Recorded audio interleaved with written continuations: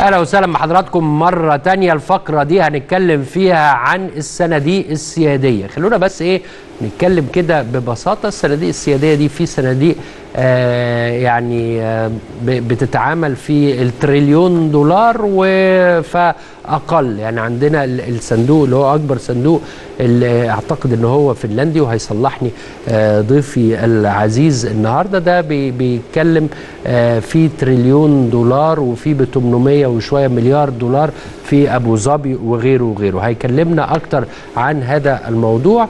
ضيفنا وضيفكم الأستاذ أسامة مراد رئيس شركة Empower Investment للاستشارات المالية. أسامة بيك أهلا وسهلا بيك. أهلا بيك يا أستاذ أيمن. إزيك؟ الحمد لله. لما نيجي نتكلم على الصناديق السيادية يعني إيه؟ يعني آه، هي في وقت من الأوقات آه، الدول ال- الغنية أو اللي لديها فائض مالي عالي آه، حبت إنها تبص لقدام وللتنمية وللأجيال القادمة. فبتستثمر فوائد أموالها آه، في الأساس في مشاريع خارجية لتضمن الأجيال القادمة رخاء آه، تام ومعيشة كريمة وتنوع للمخاطر. آه، المثال اللي حضرتك ذكرته الصندوق الأكبر هو الصندوق النرويجي. نرويج. آه مش أنا الصندوق آسف. النرويجي وده حجم الصناديق في العالم 7 تريليون. الصندوق النرويجي تقريبا داخل على تريليون دولار. مم. الصندوق النرويجي آه، آه، يعيش الشعب النرويجي خلاص. يعني ممكن النرويج نظريا كلهم يقعدوا يتحالوا على المعاش بقى. إيه، هو صندوق أجازة- معاشات مش كده؟ آه آه يتحالوا على المعاش ويصرف على الدولة وعلى على الأفراد من آه عوائده. آه، طبعا الصندوق الإماراتي والكويتي وال- والسعودي وعندنا الصيني والهندي والسنغافوري. دول يمكن أكبر سبع صناديق في في العالم. آه، الحمد لله إن الخبرة العربية موجودة بكثافة لأن إحنا عندنا دول عندها فوائد بترولية.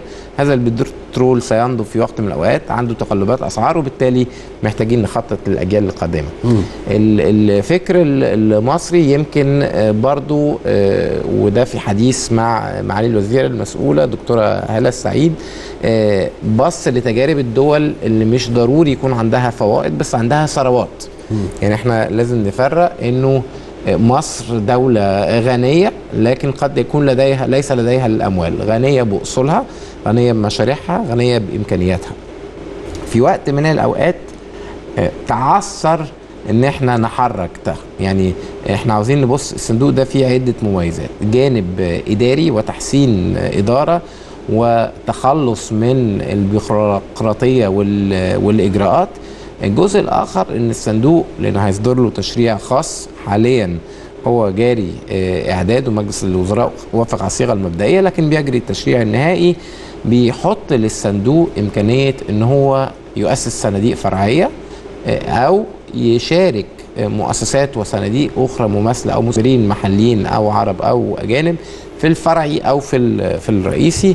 آه، هناك دولتين أو صندوقين سياديين عربيين اقوياء من اللي لديهم المعرفة والمال آه، بيدوا المشورة والتعاون الفني آه، حاليا للوزارة بالاشتراك آه، صندوق معهم. أبو ظبي؟ صندوق أبو ظبي وصندوق ودولة عمان. مم.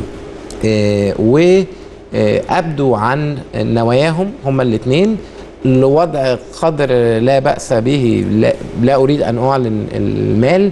لكن ناس كتير قوي قلقانة من أين تأتي ال- السيولة. الحكومة المصرية أعلنت عن 5 مليار جنيه وده رقم يعتبر آه، رقم آه، رمزي بالنسبة للصناديق لكن هناك أموال ستضخ من جانب آه، هاتين الدولتين الشقيقتين آه، بصفة آه، مبدئية. لكن أعتقد أنه هيسمح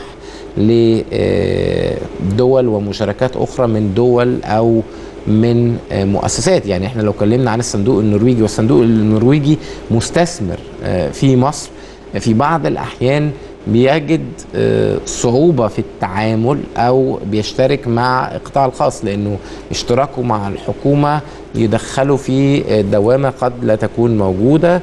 الحكومة لا تتبع معايير الشفافية والحوكمة والنزاهة ولجان المراجعة وهكذا. هذا الصندوق ملزم بمعايير المراجعة.